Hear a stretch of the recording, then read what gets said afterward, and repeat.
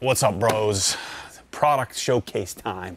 I just made a specific product video uh, for what's going to be the new channel. So you're going to want to go check out. We're going to think we're going to call it Obsessed Garage Shorts. It's going to be a channel that has clips of Matty rants and ridiculousness.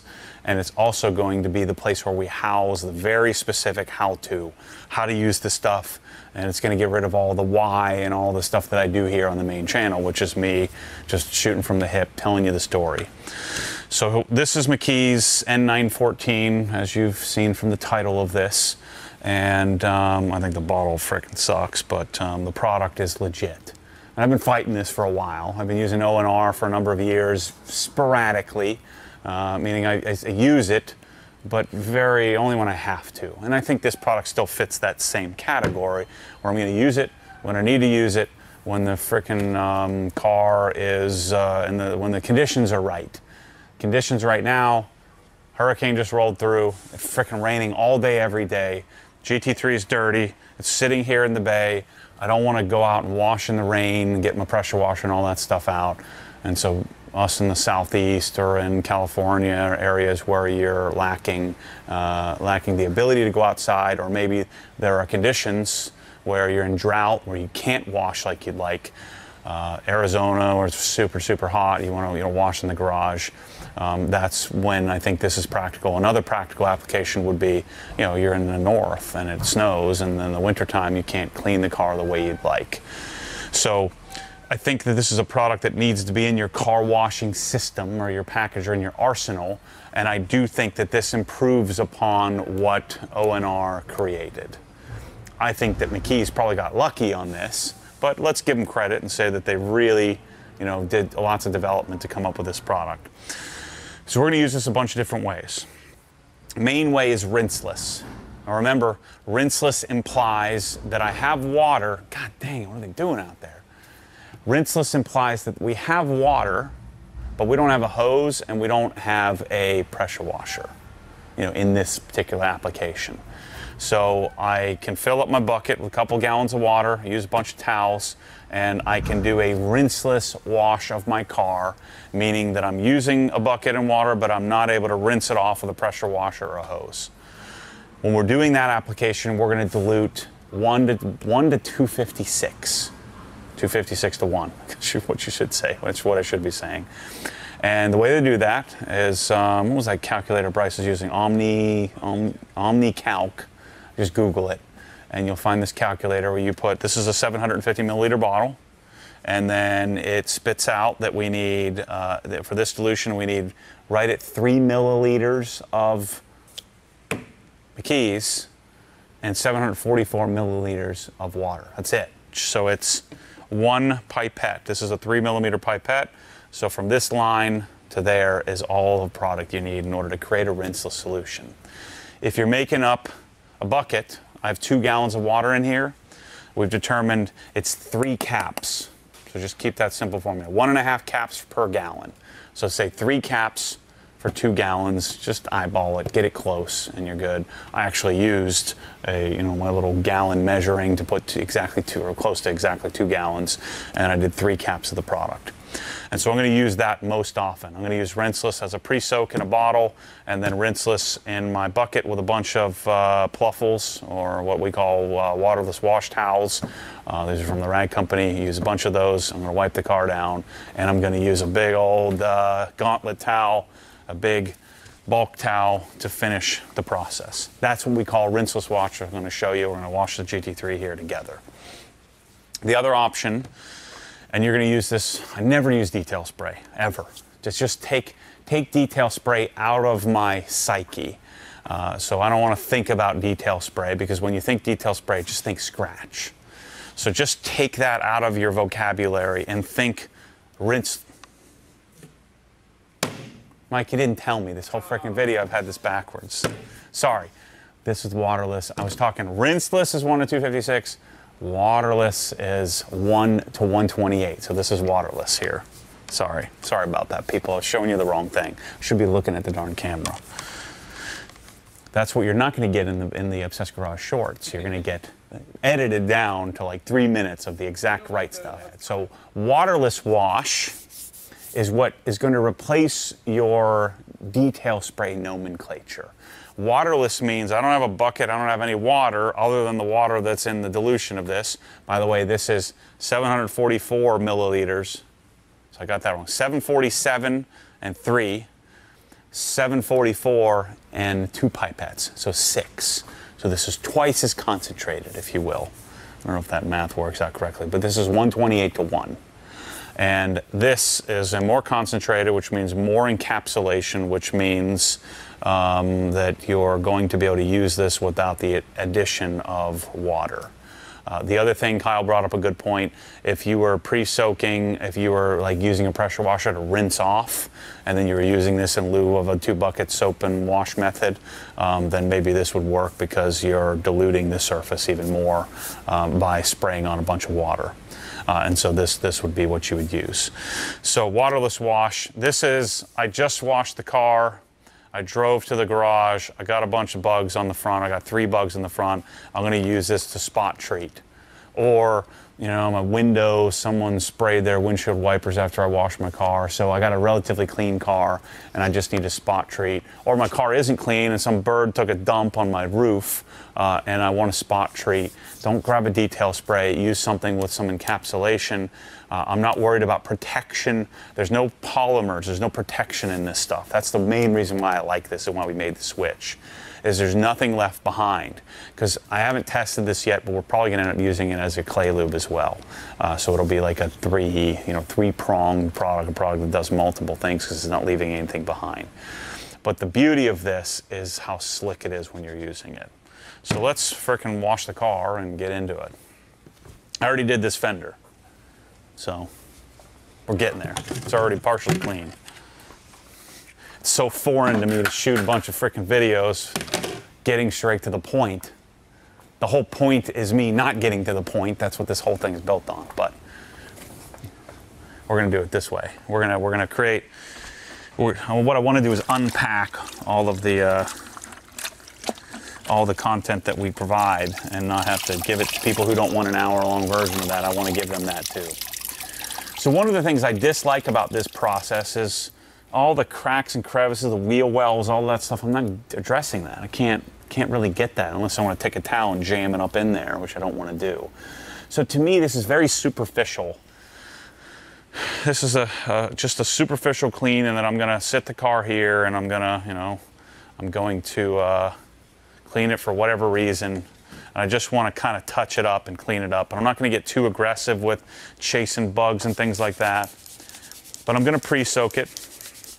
Some would argue that maybe you should pre-soak it with a more aggressive or more concentrated version of the formula. I'm going to stick with the formula. So my car isn't super dirty. I drove through the rain, but it was clean before I drove through the rain the other day. And so it's just like, we'll call it moderately dirty. I know, remember, it always looks good on camera. Why does this towel look dirty? Is that just stained? Yeah. So I took, fold the towel in eighths, like this. You know, fold it in half, fold it in half again. So now I got eight sides to work with. And the, the hood here is one of the cleaner areas. So I may do a little bit bigger area than I normally do. But I'm just gonna go and swipe around and try to remove as much dirt as I can.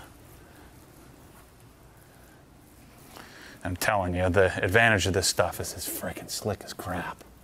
Even at such a low dilution, it's pretty remarkable. So with two sides of the towel, I did the entire hood area. And you know, we got some dirt.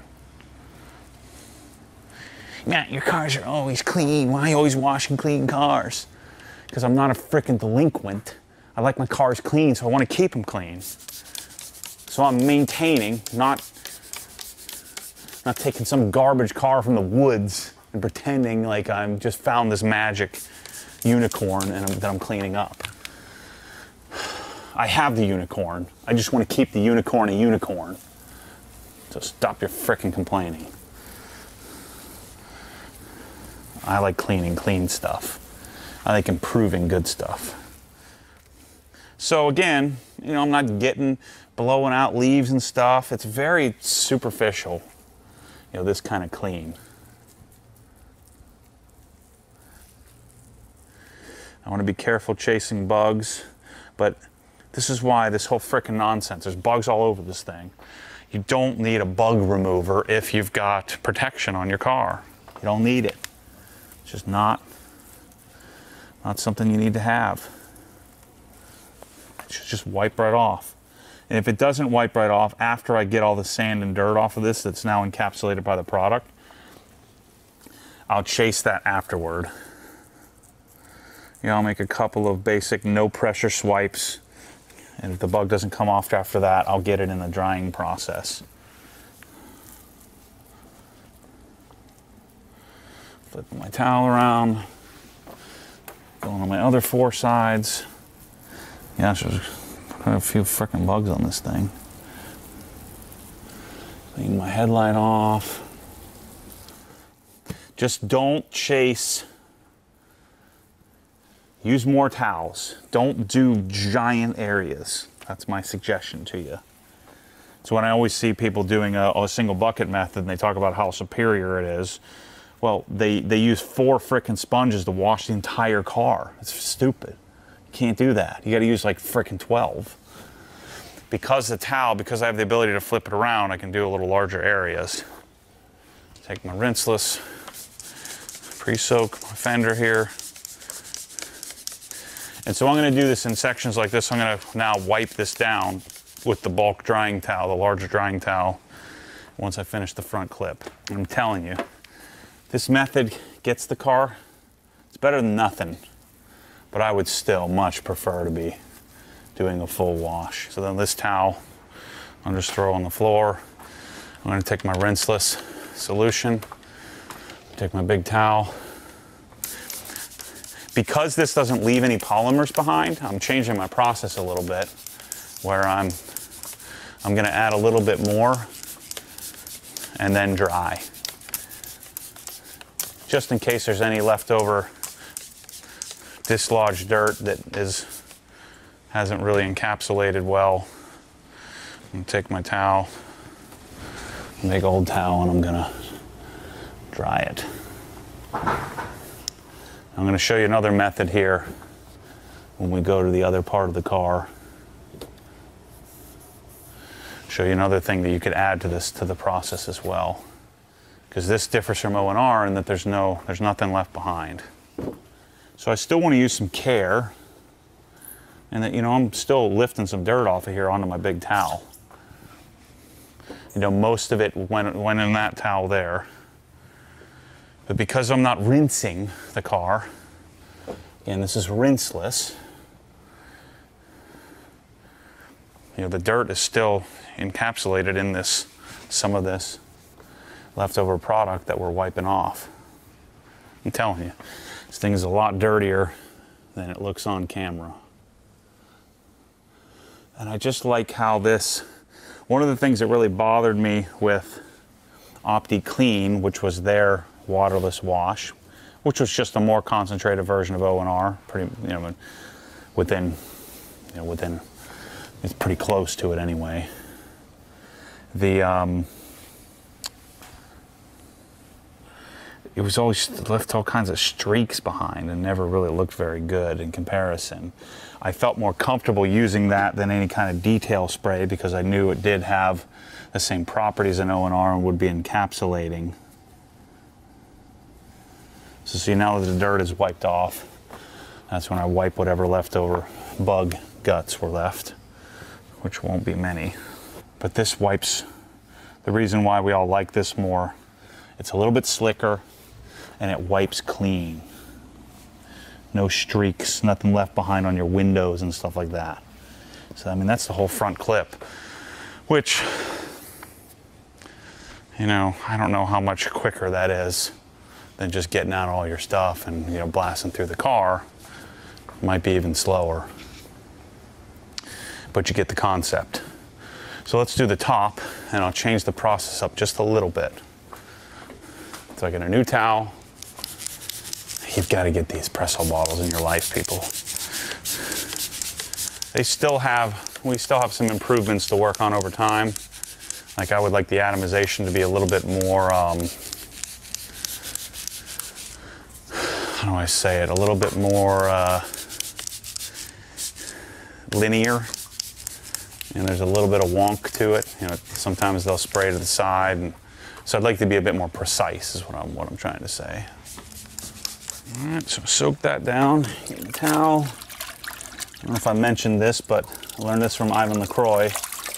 When you wring out your towel, don't completely wring it out, but you do want to wring it out to some extent because I don't need gallons of water. Now this towel has already have some staining from washing before, so it's not dirty. It's a brand, it's a fresh, clean towel. And I'm gonna go around, I'm gonna do my thing. And we just pre-soaked it. Windows I can be a little bit more aggressive on because a window isn't gonna scratch like your paint or your PPF will. You want to treat like this car has PPF all over it. You want to tr- still treat it like paint. Take extra care, make sure you're taking your time. Don't use pressure. Use the pre-soak. Knowing that theoretically if I did add some scratching that this will self-heal as soon as I get it out in the sun. But I don't want to go there. I don't want to rely on that. And I'm going to wash sections like normal. So one little tip here, I'm going to wipe the paint first and I'll use that same side to wipe the glass. And I can stretch this towel a little bit longer because of that. Or I wouldn't want to do that big of an area with one side of the towel. So I'm going to do with the paint first. And then I take that towel on the same side, transition onto the window. Okay. Now this time I'm going to do a little bit differently. That towel's done. I decide I want a little bit of protection. So I'm going to get my drying aid out. And I've got my bulk drying towel. And I'm going to, this is uh, B&B Slipstream. And so I'm gonna spray a little drying aid here. So now I'm getting a little bit of protection in my drying step. Think about that, huh? That's pretty cool.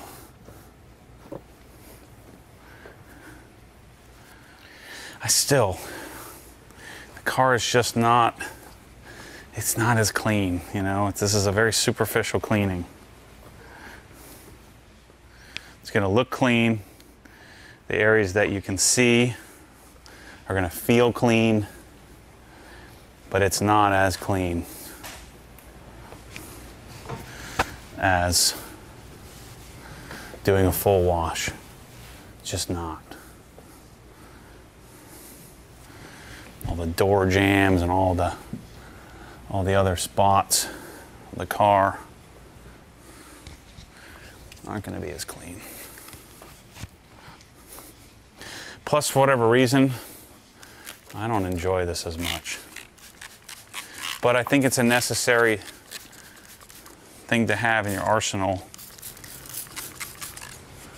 I'm almost out of my prototype. This is bad news. We got to get the product going. So the, the OG drying aid, depending on when you watch this video in history, is uh, it's due at the end of uh, probably the end of August would be my guess. Hopefully sooner than that, but so after I dry this, let's show you how we would waterless wash if we didn't have a bucket. We use the more concentrated formula. The other thing that really sucks doing this is wheels. You know, I don't want to, especially if you didn't have, well, I got carbon ceramics for gosh sakes, if you didn't have that, it'd be a nightmare. This towel might be a little bit big for this, but I want to have a big towel. That way I can spread it around, spread around the potential of dirt, funk. So if we went waterless, which is our more concentrated version, I just think this kind of defeats the purpose. But let's say we were cleaning this dirty, dirty part of the door I'm gonna really get at it.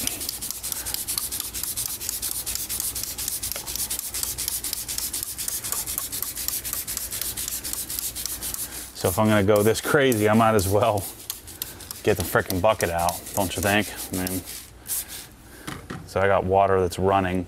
I got a dry towel. I'm gonna go and do a first initial wipe from top to bottom. So that got a bunch of it off. And I'm gonna go I'm gonna do a second wipe. If I tried to clean the whole car like this, I'm gonna use freaking 500 towels.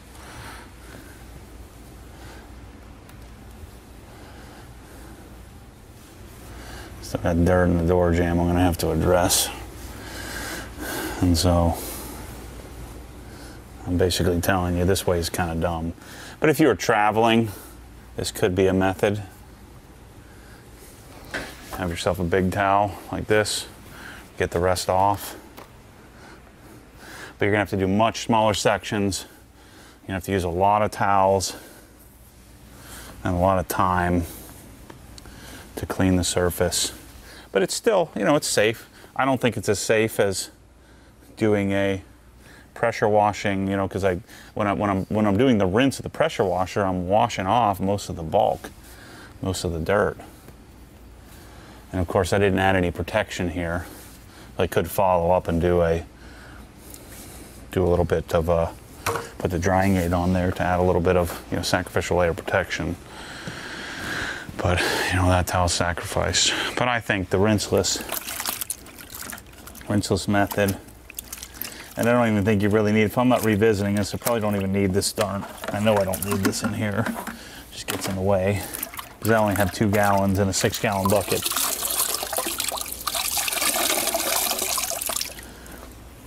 So I think this is still the better method.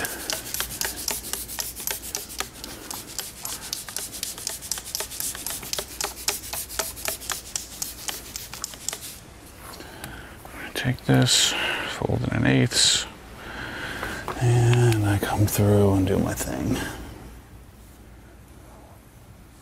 No pressure. Don't do the, don't push down. I'm hoping to it is the dirt is encapsulated and lifted. And I'm lifting, say, 80% of the dirt off. There's still 20% left that we'll get when we're drying and that 20% left is the reason why I tend to prefer to spray a little bit more product on.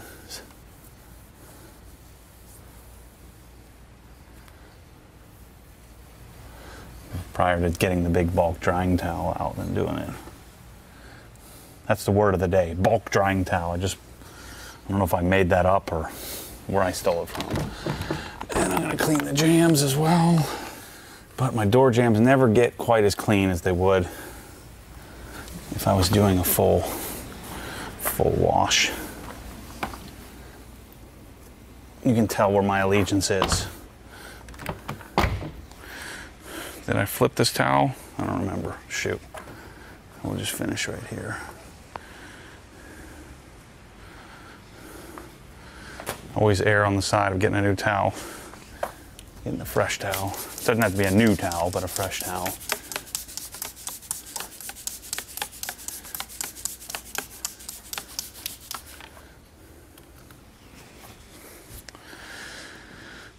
I feel more confident if I was going to do this process. I'd feel more confident doing it this way and then drying aid afterward if you really felt the need to add a layer of protection. I would probably, most instances, unless I was in the north and it was winter, and I'm, you know, and this is the wash I'm using pretty exclusively. Um, I would do the drying aid when I'm doing my normal wash, and just skip the drying aid on this and just put the extra rinseless on. That would be my suggestion. But if it was, you know, if I was winter time in the north, I would uh, I think I would um, do this, and then right now I would add the drying drying aid after I've wiped everything down.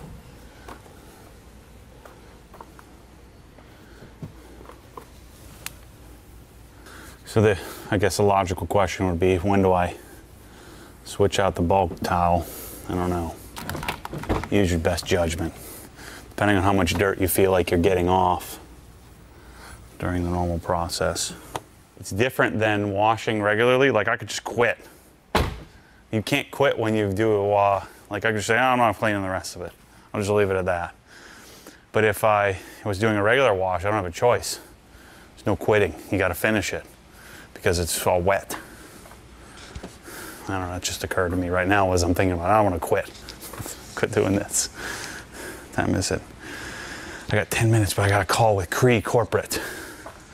Let's keep going. Let's do a wheel here. You know, I'd probably, if I was gonna do my wheel, I'd probably grab one of my little wheel towels. I don't know that I wanna really taint these pluffles. So I would certainly do the wheels last. And I would use my bulk drying towel to finish up the wheel. Maybe, I'm thinking about my process here, maybe what I would do Let's take a waterless wash since the wheel is going to be a little dirtier.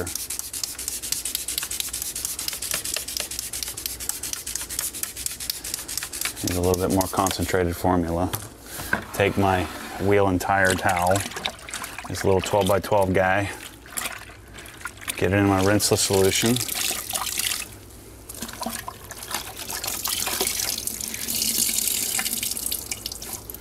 Bring it out a bit. clean the wheel first. Try to reach in and get as much of the caliper as I can. Getting the rotor hat as much as I can. Problem is it's kind of hard to flip the towel around, so I'm really just kind of moving dirt around, hoping to lift as much as I can. And this is one of those highly um, customizable processes. You can use my process, but my guess is if you've done this a lot, your process is probably better than mine. And you can take my info for what it's worth, like like normal. But uh, there's all kinds of little little techniques you can employ in developing and honing your process around cleanup.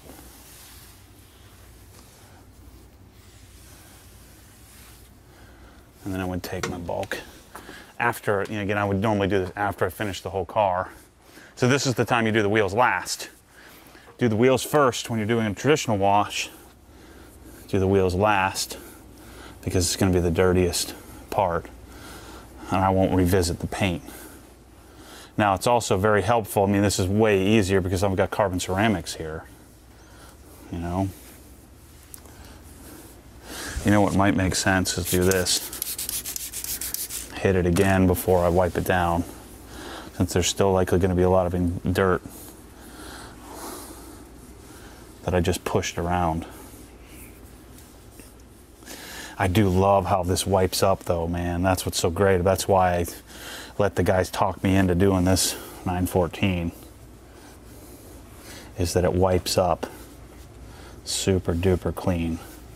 Whereas, you know, ONR leaves a little something behind, which also means that it can be tend to be it can be streaky.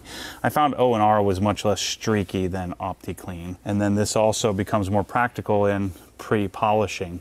Because the last thing you want to do is decon a car and then put some polymers on top of it again. So that's how I do the wheel. So yeah, uh, N914 uh, is, I think, super viable. You know, even says on the bottle, you hate being a guy that just reads the freaking instructions to you on a video. What value do I add? I want to add some, some context and how I'm using the stuff. But rinseless is obviously the most, probably the most useful area where I'm going to use this stuff. And then waterless, we just showed, you know, waterless, you can kind of pick and choose. So I'd probably have a rinseless and waterless dilution in two separate bottles out and ready depending on what I felt like I need when I was cleaning. And then you can use as a clay lubricant. The clay lube is the same dilution as waterless. So I'm guessing next car I do, I'm going to use this. I'm guessing I may eliminate nanoskin or auto scrub, the auto or the um, glide solution, not the auto scrub, but use this with an auto scrub or a clay bar. And then they do say paint prep eight to one. Um, not sure. I probably still prefer to have some sort of alcohol-based solution, but maybe you know maybe we try it. I, I don't intend to use it for that. Um, but it's a super viable product. I think it's something you need in your cabinet. I think um, smells pretty good. That's always a good thing, I guess. It's, it's some, some, it makes it more fun. Um, I think it's something that you need to add to your cabinet.